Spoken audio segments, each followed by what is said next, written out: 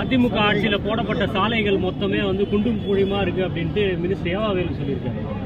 அதிமுக ஆட்சியில நம்ம மூணு வருஷத்துக்கு ஒரு தடவை ரெனியூவல் பண்ணி தான் ஆகணும். ஆட்சியில் போடப்பட்டதுன்னா ஆர்டர் அது எல்லாமே எல்லா ஆட்சி வந்தாலும் ரெனியூவல் மூணு வருஷம் நாலு வருஷம் ஒவ்வொரு ரோடுக்கு துறை இருக்கு.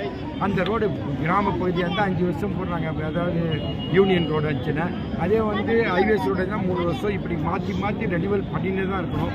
அது இவங்க வந்து செய்யணும். நீங்க அவர் ஏவவேல் சொன்னார்னா அவர் தான் இன்றைக்கு துறையுடைய அமைச்சர். அவர் அதுக்கு முக்கியத்துவத்தை கொடுக்கணும். ஆக அது வந்து அவர் காலம் அது பார்த்து அது நேரம் அது மூணு வருஷம் ஆயிருக்கா நாலு வருஷம் ஆயிருக்கான்றது கண்காணித்து அதுக்கு தகுந்தாற் போல நடவடிக்கை எடுக்கணும். இதுதான் எங்களுடைய கோரிக்கை. ஓகேவா? சிறுபான்மையர்களின் பாதுகாப்பானது திமுக அரசுன்னு சிஎம்ஏ சொல்லியிருக்காரு. சிஎம் அது சிஎம் சொல்றாரு. இதுவரை நான் சொன்ன மாதிரி குண்டுவெடிப்பு சம்பவத்தில் நாங்கள் எல்லாம் அவங்களெல்லாம் விடுதலை செய்வோம் ஆட்சிக்கு வந்தால் விடுதலை செய்வோம் சொல்லி தேர்தல் வாக்குறுதியை கொடுத்திருக்கார். சிறுபான்மை மக்களுக்கு ஆதரவாக வாக்குறுதியை கொடுத்தார். இல்லைன்னு சொல்ல. முப்பது இப்போ மூணு வருஷம் ஆயிடுச்சு. கொடுத்த வாக்குறுதி என்னாச்சு? எடப்பாடியார் கேட்ட சட்டமன்றத்தில் என்ன உங்களுக்கு புதுசாக அனுதாபம் உருவாயிடுச்சு? புதுசு சிறுபான்மையின் மேலே என்ன அனுதாபம் உருவாச்சு? அனுதாபம் இல்லை. நீங்கள் தேர்தலில் கொடுத்த வாக்குறுதியெல்லாம் நாங்கள் எதிர்கட்சியினுடைய உரிமையை எதிர்க்கட்சியுடைய அந்த வேலையை நாங்கள் செய்கிறோம் அப்படின்னு சட்டமன்றத்தில் சொன்னார். இதுவரை செய்யல. ஆனால் எப்படி பாதுகாவலர் இப்போ சிறுபான்மையின மக்கள் தான் பூரா பேர் ரோட்டில் நிற்கிறாங்க அத்தனை பேரும் நம்முடைய இங்கே எதிர்ப்பாக நின்று தோல்வி அடைந்த மாவட்ட செயலாளர் சுகுமார் அவர்கள் சொன்னார்கள் அவர்கள் வாக்களித்திருந்தால் நான் வெற்றி பெற்றிருப்பேன். அவர்கள் அத்தனை பேர் திமுக தான் வாக்களிச்சாங்க. இன்னைக்கு வாக்களிச்சோம் போர்டுக்கு வந்துட்டான் எப்படி பாதுகாவலர் ஆக முடியும்?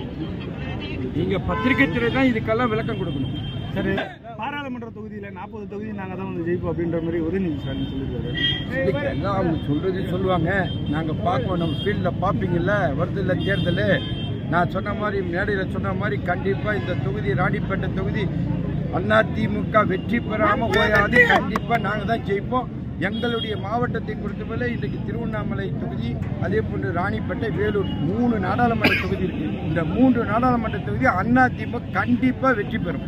அதிமுக புதிய உறுப்பினர்கள் சேர்க்கை உறுப்பினர்லாம் சேர்த்து ரெண்டு கோடி பேருக்கு மேல நாங்க உறுப்பினர் அது இப்ப எடப்பாடியார் அம்மாவுடைய காலத்துல ஒன்றரை கோடியாக இருந்தது. இன்றைக்கு எடப்பாடியாருடைய காலங்கள்ல ரெண்டு ரெண்டு கோடிக்கு மேல இன்னைக்கு உறுப்பினர் சேர்ந்திருக்கிறோங்க அந்த அளவுக்கு வலு மேலும் மேலும் வலுவாக தான் கட்சி இன்றைக்கு இயங்கிக் கொண்டிருக்கின்றது எடப்பாடி பழனிசாமி தப்பி தவறி தலைவர் ஆயிட்டாரு ஓபிஎஸ் சொல்லியிருக்காரு